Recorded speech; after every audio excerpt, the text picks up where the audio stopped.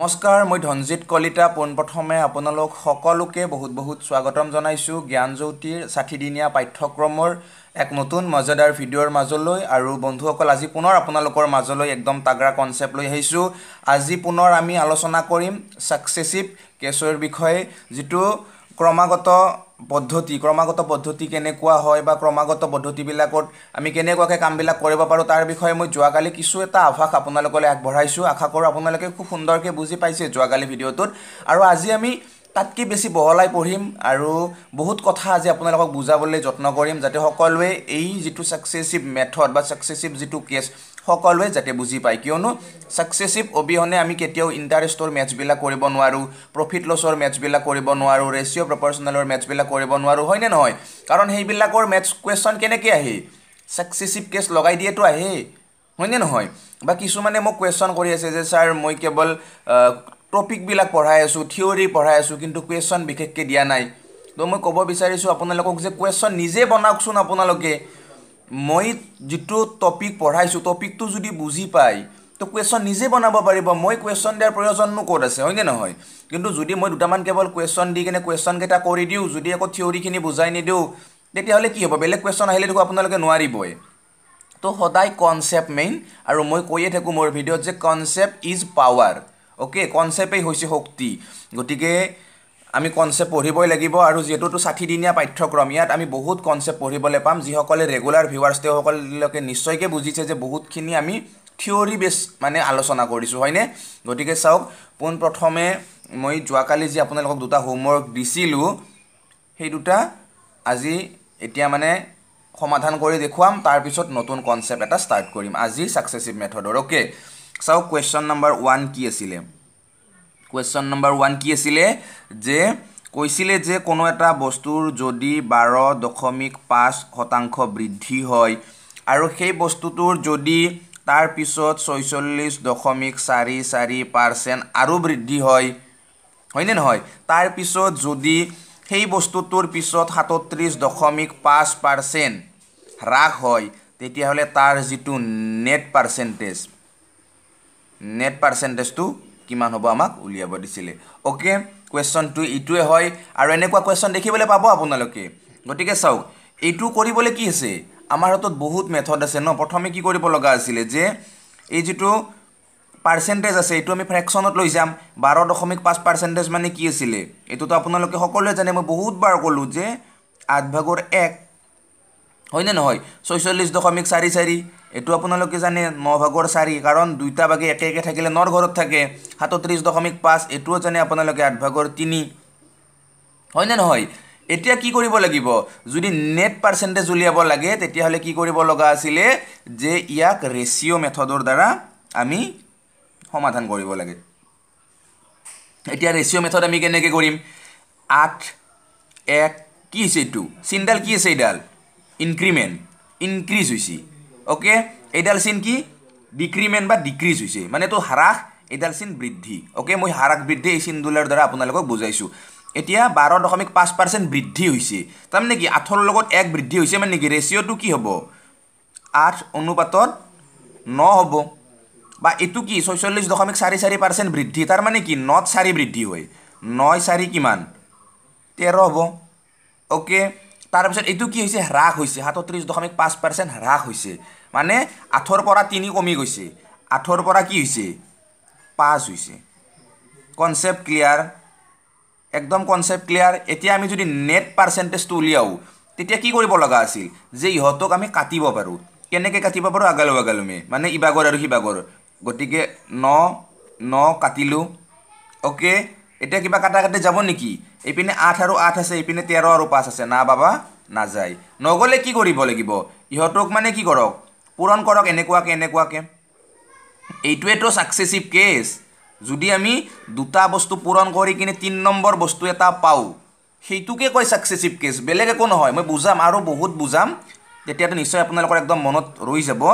এতিয়া চাওক আঠ আঠ গুণ কিমান? Sixty four. তেৰ পাঁচ গুণ কিমান? ছিক্সটি ফাইভ অ'কে এতিয়া আপোনালোকে চাওক যে কি হৈছে?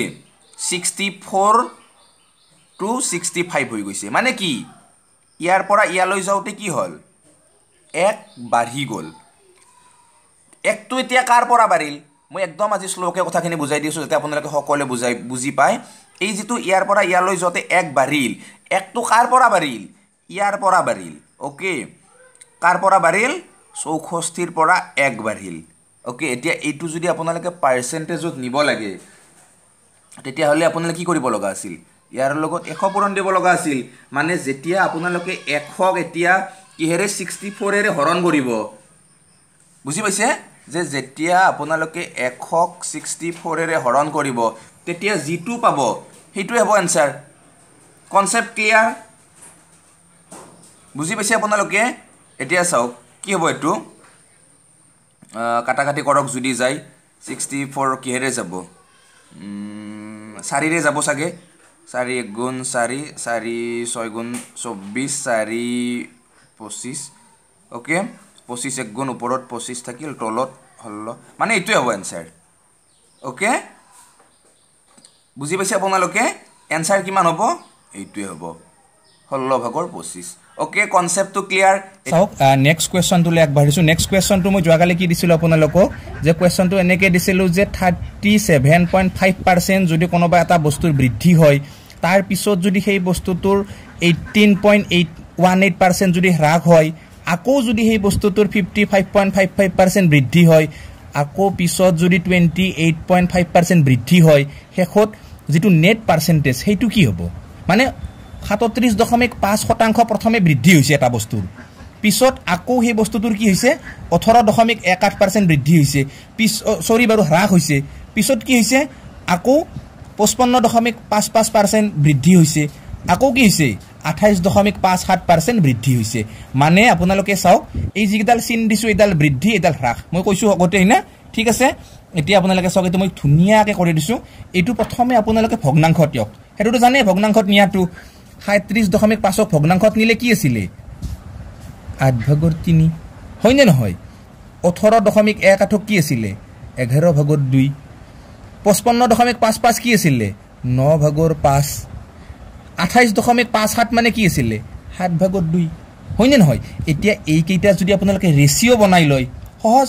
হয়নে নহয়? মই সেইটোৱেতো কৈ আছোঁ কালিৰ পৰা ৰেচিঅ' বনাওক আপোনালোকে। ৰেচিঅ' বনালে কি হ'ব? এইটো বাচছেই মানে কি? আঠৰ পৰা তিনি বাচছে মানে কি? এঘাৰ হৈছে।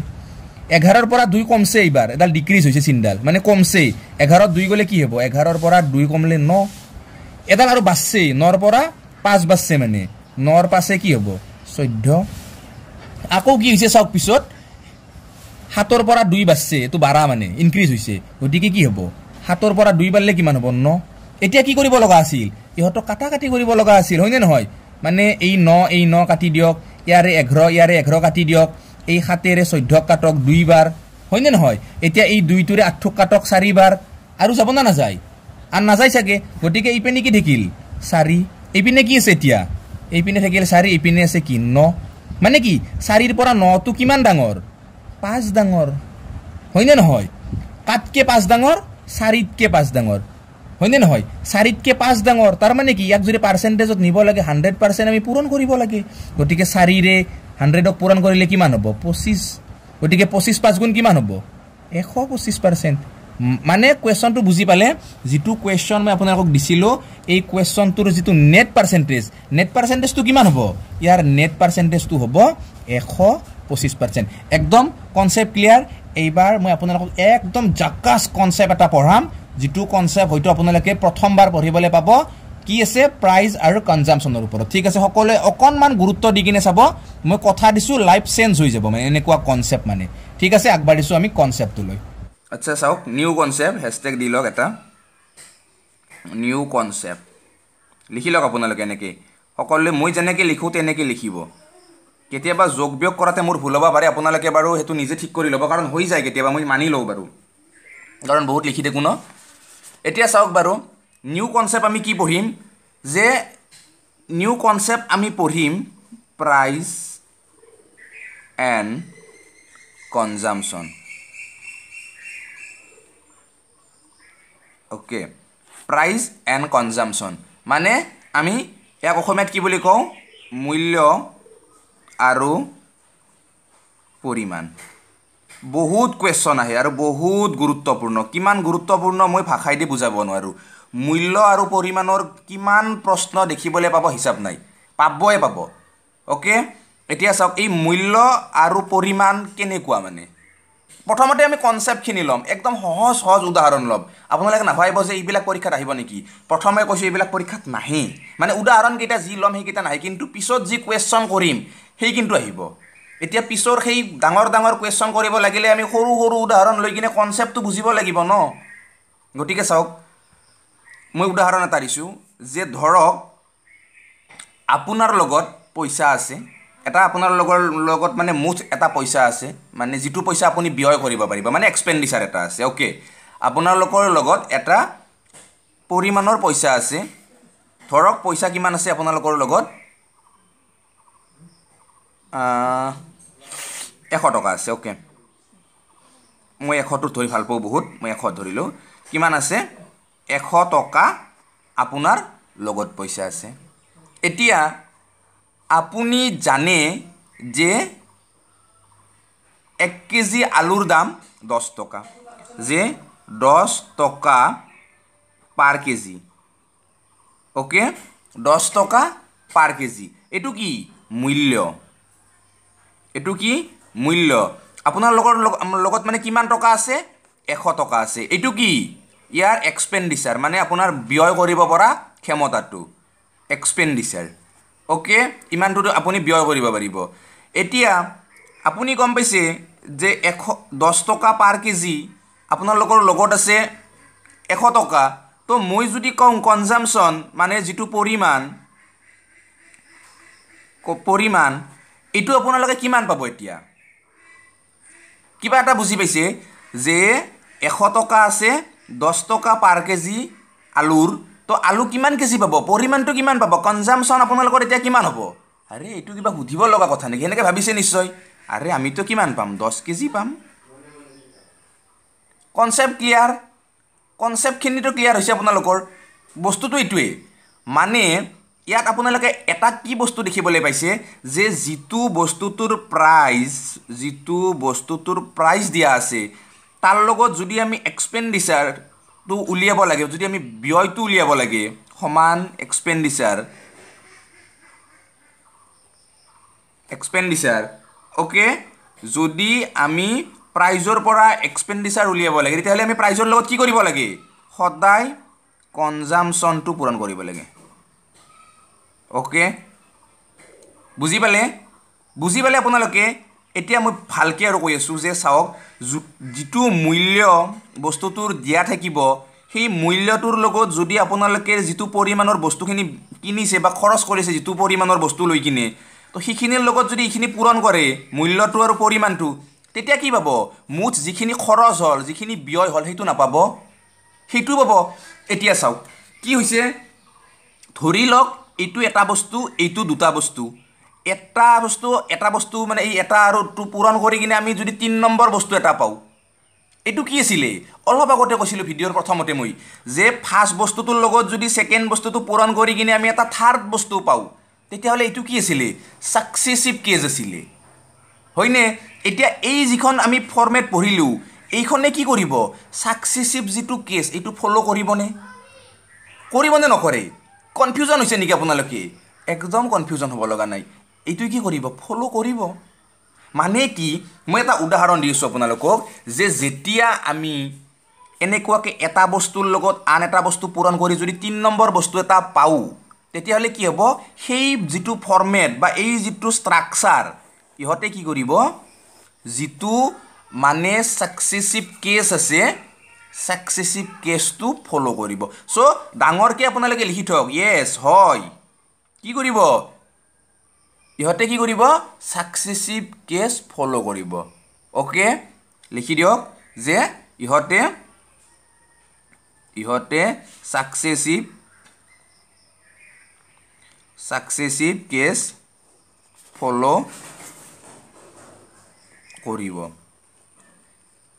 অ'কে এতিয়া চাওক এনেকুৱা ধৰণৰ বস্তু আৰু বহুত আছে। এইটো প্ৰাইজ ইনটু কনজামশ্যন ইকুৱেল আমি পাইছোঁ এক্সপেণ্ডিচাৰ যদি মই কওঁ আপোনালোকক যে আমিতো বহুত এনেকুৱা ধৰণৰ বস্তু পাওঁ প্ৰাইচ কনজামশ্যনটো বাৰু বেলেগ কথা। আমি যদি এনেকৈ পাওঁ বহুত প্ৰশ্ন আছে ন সময় সময় ডিষ্টেঞ্চ উলিওৱা। যদি আমি সময়টোৰ লগত টাইমটোৰ লগত যদি আমি কি পূৰণ কৰোঁ টাইমৰ লগত যদিহে আমি কেতিয়াবা স্পীড পূৰণ কৰোঁ অ'কে টাইমৰ লগত যদি আমি কেতিয়াবা স্পীড পূৰণ কৰোঁ কি পাওঁ? আমি সেই যিখিনি জাগা আছিল তাৰ ডিষ্টেঞ্চখিনি পাওঁ। অ'কে তাৰমানে কি? Time into speed equal distance মানে কি? এটা বস্তু দুটা বস্তু পূৰণ কৰোঁতে আমি তিনি নম্বৰ বস্তু এটা পালোঁ। তো ইহঁতেও ছাকচেছিভ কেছটো ফ'ল' কৰিব। যদি মই আপোনালোকক এনেকৈ কওঁ যে time into efficiency time into efficiency equal কিমান হ'ব? ট'টেল যিটো ৱৰ্ক ট'টেল ৱৰ্ক ইহঁতে কি কৰিব? আৰে ইহঁতেওতো ফ'ল' কৰিছে। কি কৰিছে? ছাকচেছিভ কেছটো মানে কি? ইহঁতেও ছাকচেছিভ কেছটো এপ্লাই হ'ব। বা যদি মই আপোনালোকক এনেকৈ কওঁ যে আপোনালোকে কিবা এটা বস্তু ইনভেষ্ট কৰিছে। ইনভেষ্ট পূৰণ কিবা এটা সময়লৈকে কৰিছে আপোনালোকে। কিবা এটা বস্তু কিবা এটা সময়লৈকে আপোনালোকে ইনভেষ্ট কৰিছে। তো আপোনালোকে শেষত কি পাব? এটা লাভ নাপাব প্ৰফিট এটা নাপাব। কিবা এটা বস্তু ইনভেষ্ট কৰিছে হৈ প্ৰফিট পাব নহ'লে লছ পাব কিবা এটাতো হ'ব। তো কি? এটা বস্তুৰ লগত আনটো বস্তু পূৰণ কৰোঁতে তিনি নম্বৰটো ইয়াতো পালে। তাৰমানে ইহঁতেও কি কৰিব? ছাকচেছিভ কেছটো ফ'ল' কৰিব। এতিয়া চাগে আপোনালোকৰ মনত কিছুমানৰ মনত যোনে মানে অকণমান বেছি স্মাৰ্ট তেওঁলোকৰ মনত চাগে এটা প্ৰশ্ন আহিছে যে যদি বস্তু এটা আয়তীয় হয় আৰু সিহঁতৰ যদি কালি উলিয়াব লাগে বা যদি বৰ্গ এটা হয় সিহঁতৰ যদি কালি উলিয়াব লাগে তাত কি হ'ব? মানে কি? যদি আয়ত হয় মই কথাটো কৈছোঁ দিয়ক এইটো বাৰু মোৰ মনত আহিলে কিছুমানে ভাবিব পাৰে মই যেনেকৈ ভাবিলোঁ হঠাৎ যে আয়তৰ যদি আমি কালি উলিয়াওঁ কি আছিল আয়তৰ কালি? দিশ পূৰণ প্ৰস্থ L into B equal কি আছিলে? এৰিয়াটো আছিলে। তাৰমানে কি? এটাৰ লগত আনটো পূৰণ কৰিছোঁ বেলেগ এটা পাইছোঁ। তাৰমানে হয় আপোনালোকে ভবাটো হয় যদি ভাবিছে ইহঁতেও কি কৰিব? ছাকচেছিভ কেছ ফ'ল' কৰিব। কিন্তু যদি আয়তৰ কালিচ জেগাত যদি আমাক পৰিসীমাৰ কথা কয় পৰিসীমাৰ কথা কয় কি আছিলে? Two into L plus B পূৰণৰ পৰা মাজত যোগো সোমাই গৈছে। পূৰণ আছিলে যোগো সোমাই গৈছে। না বাবা না ইয়াতে ছাকচেছিভ কেছ ফ'ল' নহ'ব।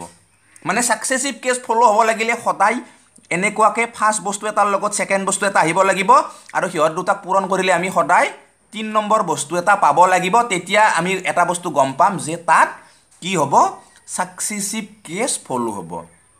এইটো বহুত গুৰুত্বপূৰ্ণ আপোনালোকে এনেকৈ কিবা এটা মানে হোলচল কৰি কিনে এইখিনি মনত ৰাখিব কিয়নো কথাৰ মাজতে বহুত গুৰুত্বপূৰ্ণ কথা এটা আপোনালোকক কোৱা গ'ল। মানে বহুত বেছি গুৰুত্বপূৰ্ণ। এতিয়া চাওক আমাৰ কনচেপ্টটো এইটো নাছিল যে আমি পঢ়িব কি আহিছিলোঁ। আমি পঢ়িব আহিছিলোঁ আজি এই যিটো কনচেপ্ট কনচেপ্টটোত পঢ়িব আহিছিলোঁ প্ৰাইজ এণ্ড কনজামশ্যন মানে মূল্য আৰু পৰিমাণ। লগতে সমান আমি কি পাওঁ সদায়? সেয়াৰ যিটো ব্যয় আমি ব্যয়খিনি পাওঁ। মূল্য আৰু পৰিমাণ যদি পূৰণ কৰোঁ আমি কি পাওঁ? ব্যয়খিনি পাওঁ। আৰু এইটো আমি এতিয়া ডিটেইলছকৈ অকণমান পঢ়িম। বহুত নপঢ়োঁ অকণমান পঢ়িম অকণমান অকণমানকৈ আমি বহুতখিনি শিকিম। ঠিক আছে একেদিনাই বহুত শিকিলে হয়তো আমাৰ পিছত প্ৰব্লেম হ'ব পাৰে। এতিয়া চাওক মই ধুনীয়াকৈ বুজাই দি আছোঁ চাওক। আচ্ছা বাৰু অ'কে।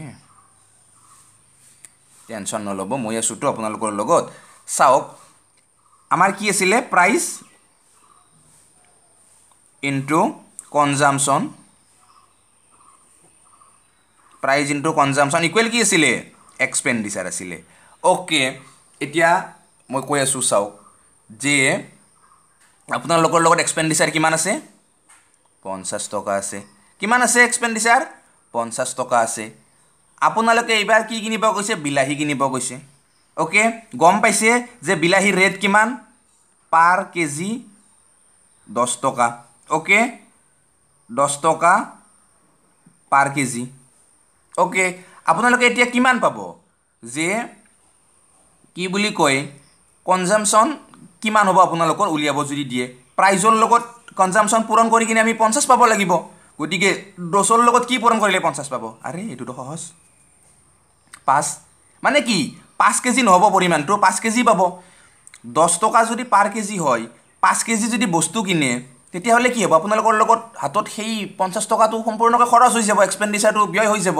চ' চাওক মই কৈছোঁ এইটো যদি হয় বস্তুটোৰ প্ৰাৰম্ভিক মূল্য একদম বুজি যাব দিয়ক বহুত গুৰুত্বপূৰ্ণ যে বস্তুটোৰ এইটো যদি প্ৰাৰম্ভিক মূল্য হয় মানে প্ৰাৰম্ভিক মূল্য মানে এই বস্তুটো মানে ইনিচিয়েল প্ৰাইচ অ'কে মনত ৰাখিব এনেকৈ যদি দহ টকা পাৰ কেজিটো বস্তুটোৰ ফাৰ্ষ্ট প্ৰাইচ মানে প্ৰথম মূল্য হিচাপে বস্তুটোৰ দহ কেজি দহ টকা পাৰ কেজি মানে একদম ফ্ৰেছ বিলাহী আনছি।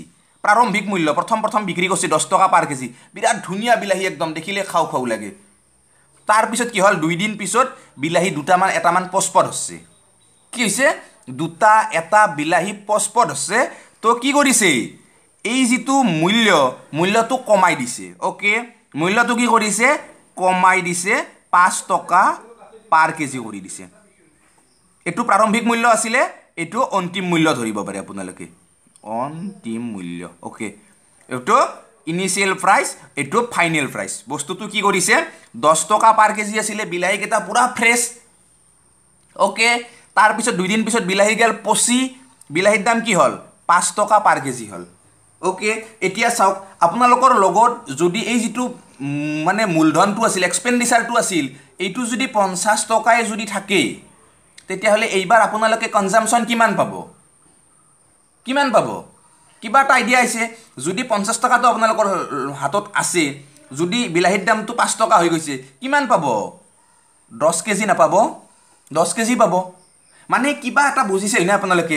যে চাওক যদিহে এই এক্সপেণ্ডিচাৰটো মানে এই আপোনালোকৰ লগত হাতত থকা মূল মূলধনখিনি যদি কনষ্টেণ্ট হয় যদি অপৰিৱৰ্তিত হয় ভালকৈ মনত ৰাখক দিয়ক। যদি আপোনালোকৰ লগত থকা যিটো এক্সপেণ্ডিচাৰ আছে এই এক্সপেণ্ডিচাৰটো যদি অপৰিৱৰ্তিত হয় ইহঁত ইহঁতৰ যদি কোনো ধৰণৰ পৰিৱৰ্তন নহয় তেতিয়াহ'লে কি হ'ব? যিটো প্ৰাইচ আৰু যিটো কনজামশ্যন এইটো কি হ'ব? ইনভাৰ্চেলি প্ৰপৰ্চনেল হ'ব। অ'কে ইনভাৰ্চেলি প্ৰপৰ্চনেল মানে কি কৈছোঁ? এই বস্তুটো বিপৰীতমুখী সমানুপাত হ'ব মানে। মানে কি হ'ব? বিপৰীতমুখী সমানুপাতত যাব মানে। কনচেপ্টটো বুজি পাইছে ইনভাৰ্চেলি কি হ'ব সিহঁতে প্ৰপৰ্চনেল হ'ব। এতিয়া কেনেকৈ লিখিব পাৰে আপোনালোকে? চাওক মই এটা ধুনীয়াকৈ লাইন লিখি দি আছোঁ বাৰু। লিখি ল'ব দিয়ক। আচ্ছা বাৰু ক'ত লিখি আছোঁ মই? ইয়াতে লিখি দিওঁ বাৰু ৰ'ব দেই। মোৰ সেইখিনিত শেষ হৈ গ'ল বাৰু নোটছখিনি এতিয়া চাওক যে যদি আপোনালোকৰ তেনেকুৱা কেছ হয় যিটো মই দেখাই দিলোঁ তাতে সেইখন পেজত তেতিয়া কি হ'ব? যদি আপোনালোকৰ এক্সপেণ্ডিচাৰটো যদি কনষ্টেণ্ট থাকে লিখি লওক এনেকৈ যদি এক্সপেণ্ডিচাৰ এক্সপেণ্ডিচাৰটো কনষ্টেণ্ট থাকে তেতিয়া তেতিয়া কি হ'ব? যদি এক্সপেণ্ডিচাৰটো কনষ্টেণ্ট থাকে তেতিয়া কি হ'ব? যিটো প্ৰাইচ যিটো মূল্য যিটো প্ৰাইচ সেইটো কি হ'ব? ইনভাৰ্চলি প্ৰপৰ্চনেল হ'ব কাৰ লগত? কনজামশ্যনৰ লগত। মানে কি? এইটো আমি এনেকৈ লিখিব পাৰোঁ। কি কৰিব পাৰোঁ আমি? কনজামশ্যনৰ লগত লিখিব পাৰোঁ। এইটো বস্তু আপোনালোকে মনত ৰাখি থ'ব। অ'কে একদম কনচেপ্ট ক্লিয়াৰ এইবাৰ মই ইয়াৰ ওপৰত কিছুমান কুৱেশ্যনৰ দৰে বস্তু ল'ম আৰু আপোনালোকক ধুনীয়াকৈ বুজাই দিম। ঠিক আছে? কুৱেশ্যন এটা কেনেকুৱা লৈছোঁ যে কোনোবা এটা বস্তুৰ কোনোবা এটা বস্তুৰ যিটো প্ৰাইচ যিটো দাম এই দামটো কি হৈছে? বাৰ দশমিক পাঁচ পাৰ্চেণ্ট বৃদ্ধি হৈছে। বাৰ দশমিক পাঁচ পাৰ্চেণ্ট কি হৈছে? বৃদ্ধি হৈছে। আমাক সুধিছে যে যিটো কনজামশ্যন এই কনজামশ্যনৰ কি এফেক্ট পৰিব কি প্ৰভাৱ পৰিব কনজামশ্যনত যদিহে যদিহে কি হয় যিটো আমাৰ এক্সপেণ্ডিচাৰ আছে যিটো এক্সপেণ্ডিচাৰ আছে এক্সপেণ্ডিচাৰটো যদিহে কনষ্টেণ্ট হয়।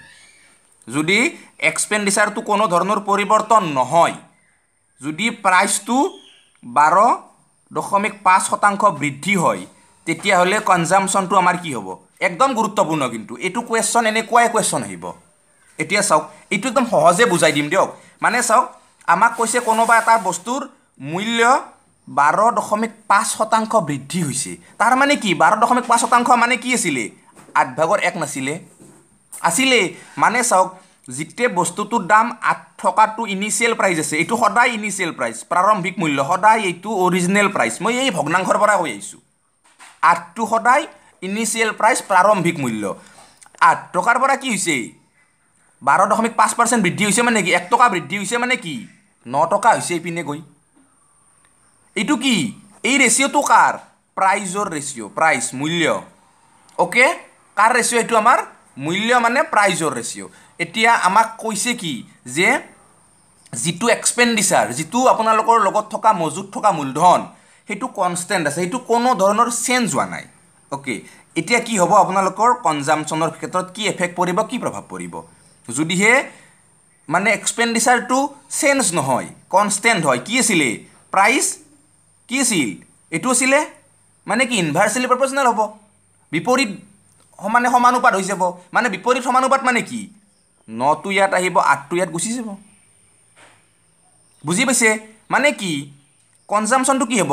ন যদি আঠ টকা বস্তুটো দাম থাকোঁতে যদি নটা কিনিব পাইছিলে বস্তু যেতিয়া বাঢ়ি গ'ল ন টকা হৈ গ'ল বস্তু আঠটা পাব সেইটোৱে জেনেৰেল একো নাই। এতিয়া নৰ পৰা আঠলৈ যোৱাতে কিমান কমিল? এক কমিল। কাৰ পৰা কমিল? এই নৰ পৰা কমিল। এতিয়া পাৰ্চেণ্টেজত যদি লৈ যায় ইয়াৰ লগত হাণ্ড্ৰেড পাৰ্চেণ্ট পূৰণ। আৰু এই ন ভাগৰ একটোক আমি নিবতো পাৰোঁৱেই কি আছিলে? ন ভাগৰ এক নিয়াৰ লগে লগে আমি জানোৱে মানে এঘাৰ দশমিক এক এক পাৰ্চেণ্ট এইটোৱে হ'ব চাগে এনচাৰ এইটো আছিল ন? ন দশমিক মানে ন ভাগৰ একক যদি আমি এইটো নিব লাগে এইটোৱে আছিল চাগে? যদি ভুল হোৱা নাই। হয়নে নহয়? কনচেপ্টটো পূৰা ক্লিয়াৰ হৈছে আপোনালোকৰ। মই আশা কৰোঁ আপোনালোকৰ এই কনচেপ্টটো পূৰা একদম হাণ্ড্ৰেড পাৰ্চেণ্টেই ক্লিয়াৰ হৈছে। আৰু এটা উদাহৰণ লৈছোঁ। তাৰপিছত বাৰু আজিৰ ক্লাছটো বহুত দীঘলীয়া নকৰোঁ। অহাকালি আমি এই কনচেপ্টৰ ওপৰত কুৱেশ্যন আনিম। আজি কনচেপ্ট আনিছোঁ। অহাকালি কুৱেশ্যন আনিম। পূৰা বহুত কুৱেশ্যন আনিম। বিছটামান কুৱেশ্যন আনিম এনেকুৱা। আজি জাষ্ট মই কনচেপ্টখিনি বুজাই দিছোঁ। চাওক যে এতিয়া এইবাৰ বেলেগ এটা কুৱেশ্যন যে কনজামশ্যনটো দিছে। কনজামশ্যনটো কি দিছে? যে সাতত্ৰিছ দশমিক পাঁচ শতাংশ হ্ৰাস হৈ গৈছে আৰু আমাক প্ৰাইজ উলিয়াব দিছে। প্ৰাইজৰ আমাক এফেক্টটো সুধিছে। প্ৰাইজত কি প্ৰভাৱ পৰিব? যদিহে আমাৰ যিটো এক্সপেণ্ডিচাৰ ই যদি আমাৰ কনষ্টেণ্ট হৈ থাকে। মানে যিটো আপোনালোকৰ লগত থকা মূলধন সেইটোৰ যদি কোনো ধৰণৰ প্ৰভাৱ নপৰে ই যদি কনষ্টেণ্ট হৈ থাকে তেতিয়া কি হ'ব? যদিহে কনজামশ্যন মানে পৰিমাণটো যদি ইমান পাৰ্চেণ্ট কমি গৈছে তেতিয়া প্ৰাইচটো কি হ'ব? নিশ্চয় বাঢ়ি যাব। কনচেপ্টখিনি বুজি পাইছে যে এইখিনি যদি কমিছে কনজামশ্যন প্ৰাইচ সদায় বাঢ়িব লাগিব। ইহঁত কি? ইনভাৰ্চেলি প্ৰপৰ্চনেল বস্তু। বুজিতো পাইছে কনচেপ্টটোতো বুজি পাইছে কনচেপ্টখিনিয়ে কিন্তু মেইন যদি মানে এই ইকনমিক্সৰ এটা সূত্ৰৰ দৰে যেতিয়া চাহিদা বাঢ়ি যায় তেতিয়া যোগান কমি যায় যেতিয়া যোগান বাঢ়ি যায় তেতিয়া চাহিদা কমি যায়। কনচেপ্টটো এইটোৱে। এতিয়া চাওক কিমান কমিছে কনজামশ্যন সাতত্ৰিছ দশমিক পাঁচ পাৰ্চেণ্ট মানে আঠৰ আঠ ভাগৰ তিনি মানে যেতিয়া বস্তুটো প্ৰথমতে যদি আঠটা কিনিছিলে পিছত কি? আঠটা কিনিব পৰা নাই কেইটা কিনিছে? পাঁচটা কিনিছে। কিয়? কিয় পাঁচটা কিনিল? কাৰণটো কি? প্ৰথমতে সেই একে পইচা আছিল ধৰি লওক কিবা এটা পইচা আছে মানুহটোৰ লগত আঠটা কিনিছিল কিন্তু পিছত বেটাই কি কৰিছে? পাঁচটা কিনছে পইচা কিন্তু একেই আছে। কিয় পাঁচটা কিনছে? কিয় কিয়? কাৰণ দাম বাঢ়ছে সেইকাৰণেহে পাঁচটা কিনছে নহ'লেতো বেছিয়ে কিনলাক হয় কথাটো সেইটোৱেই দাম বাঢ়ি গৈছে। এতিয়া চাওক বস্তুটো কি আছিলে? যিটো হাতৰ পইচা আছে পইচাটো সদায় কি? কনষ্টেণ্টে থাকে। হয়নে নহয়? যদি কনষ্টেণ্ট থাকে পইচাটো যদি অপৰিৱৰ্তিত তেতিয়াহ'লে কি হ'ব? ইহঁত ইনভাৰ্চেলি প্ৰপৰ্চনেল আছিলে। মানে কি? বিপৰীত সমানুপাত আছিলে। পাঁচটো তেতিয়া ইয়াত আহিব আঠটো এতিয়া ইয়াত যাই গুচি যাব। এই কনচেপ্টখিনি এইটোৱেই। মানে পাঁচৰ পৰা কিমান বাঢ়িছে? তিনি বাঢ়িছে। হয়নে? পাঁচৰ লগত কিমান বাঢ়িছে? তিনি বাঢ়িছে। তেতিয়াহে আঠ হৈছে বস্তুটো প্ৰাইচটো প্ৰথমতে যদি পাঁচ টকা আছিলে পাৰ বস্তুটোত মানে প্ৰতিটো বস্তুৰ দাম যদি পাঁচ টকা আছিলে তেতিয়া আঠটা পাইছি। যেতিয়া আঠ হৈ গ'ল তেতিয়া পাঁচটা পাইছি। এইটোৱে কনচেপ্ট এতিয়া পাঁচৰ পৰা তিনি বাঢ়িল। মানে পাৰ্চেণ্টেজত কিমান বাঢ়িল? যদি এইটো হাণ্ড্ৰেড পাৰ্চেণ্ট লৈ যায় তেতিয়াহ'লে কিমান বাঢ়িল? পাঁচ ভাগৰ এক মানে আছিলে কিমান? বিছ পাৰ্চেণ্ট পাঁচ ভাগত দুই চল্লিছ পাৰ্চেণ্ট পাঁচ ভাগত তিনি কিমান হয়? ষাঠি পাৰ্চেণ্ট কনচেপ্ট ক্লিয়াৰ একদম ক্লিয়াৰ লিখি দিয়ক সকলোৱে কমেণ্টত যে একদম ক্লিয়াৰ এই কনচেপ্টটো এতিয়া চাওক কিছুমানৰ এটা কুৱেশ্যন আহিব পাৰে মনত যে এই যিটো এক্সপেণ্ডিচাৰ কৈছোঁ মানে হাতত থকা পইচাটো এইটো যদি কনষ্টেণ্ট নাথাকি কিনে যদি এইটোও যদি ভেৰিয়েবল টাইপ হয় মানে আজি মোৰ লগত আছে এশ টকা এশ টকা মোৰ লগত থকাৰ কাৰণে মই বিলাহী দহ কেজি কিনি আনিছোঁ কালি মোৰ লগত ডেৰশ টকা হ'ল তো মই বিলাহী বেছিকৈ কিনি আনিম। মোৰ যদি এক্সপেণ্ডিচাৰটো যদি কনষ্টেণ্ট নহয় এইটো যদি ঘূৰি ফুৰা টাইপৰ হয় তেতিয়াহ'লে কি হ'ব? হয় আপোনালোকে ভাল কথা ভাবিছে। যদি এনেকৈ ভাবিছে ভাল কথা ভাবিছে যদি এক্সপেণ্ডিচাৰটো কনষ্টেণ্ট নহয় কিনে যদি ভেৰিয়েবল টাইপ হয় তেতিয়াহ'লে কি হ'ব? ইয়াৰ বাবেও মই কৈ আছোঁ কিন্তু আজিৰ ভিডিঅ'টোত আৰু দীঘলীয়া নকৰোঁ। আজিৰ ভিডিঅ'টোত ইমানতে মই সমাপ্ত কৰিছোঁ। আজি মই কোনো ধৰণৰ হোমৱৰ্ক নিদিওঁ। আজি মই একদম আপোনালোকলৈ জাকাছ কনচেপ্টটোৱে লৈ আহিছিলোঁ কাৰণ এই কনচেপ্টটোৰ ওপৰত বহুত কুৱেশ্যন আহে কুৱেশ্যনবিলাক ৰেলৱে এছ এছ চি বেংকৰ এ পি এছ চি লেভেলৰ বা অসম পুলিচতো আহিব পাৰে ইৰিগেশ্যন পৰীক্ষাত আহিব পাৰে যিকোনো কম্পাৰেটিভ পৰীক্ষাতে এই যিটো পাৰ্চেণ্টেজৰ কথা মই কৈ আছোঁ আহিবই চিয়'ৰ পুৰণা প্ৰশ্ন কাকত আছে যদি চাই লওক দেখা পাব এনেকুৱা ধৰণৰ প্ৰশ্নই। গতিকে অহাকালি সেইটো কনচেপ্ট পঢ়িম এক্সপেণ্ডিচাৰ ভেৰিয়েবল হোৱাটো আজি এইখিনিলৈকে থাকিল। কেনেকুৱা পালে ভিডিঅ'টো চাই সকলোৱে জনাব। যদি অকণমান হ'লেও ভাল পাইছে বা জীৱনতো যদি অকণমান হ'লেও প্ৰভাৱ পৰিছে ভিডিঅ'টোৰ পৰা সকলোৱে ভিডিঅ'টো শ্বেয়াৰ কৰক অ'কে ভিডিঅ'টো শ্বেয়াৰ কৰক সকলোকে জনাওক জ্ঞানজ্যোতিৰ কথা আৰু যদি কোনোবাই ছাবস্ক্ৰাইব নকৰাকৈ আছে ছাবস্ক্ৰাইব কৰক। গতিকে আজিলৈ সকলোকে এৰিছোঁ অহাকালি পুনৰ আপোনালোকক এই একেই সময়তে লগ পাম একদম তাগৰা তাগৰা কনচেপ্ট প্লাছ কুৱেশ্যনৰ সৈতে। গতিকে আজিলৈ বাই বাই ভালেই থাকক সুস্থ থাকক সবল থাকক।